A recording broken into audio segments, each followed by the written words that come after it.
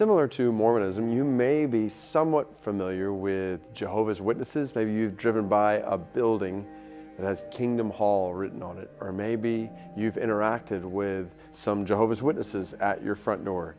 But when it comes to what Jehovah's Witnesses believe, like how much do we know? And does our lack of knowledge keep us from sharing the gospel or at least having conversations about the gospel with people who say they're Jehovah's Witnesses?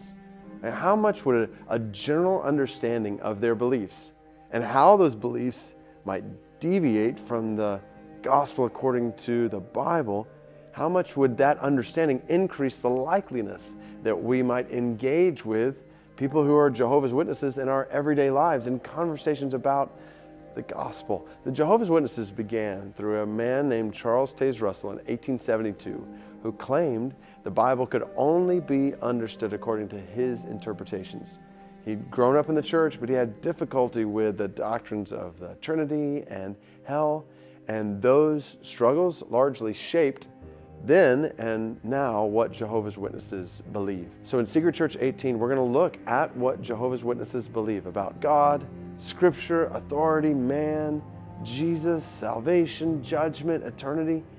And then we're going to talk about some really practical suggestions for talking about the gospel with people who are Jehovah's Witnesses based on the Bible and how it relates to what Jehovah's Witnesses believe. The reality is there are many Jehovah's Witnesses in the world today who are doing a lot better job of sharing a false gospel than followers of Christ are of sharing the true gospel. That can't, shouldn't be the case. In a world where the gospel is constantly being distorted, we as followers of Christ must be able to recognize deviations from the gospel when we hear them and to humbly and clearly and compassionately confront those deviations with the truth of the gospel, the gospel that has the power to save people from sin in a world where the gospel is constantly being distorted. We as followers of Christ, we must be able to recognize deviations from the gospel when we hear them and to humbly and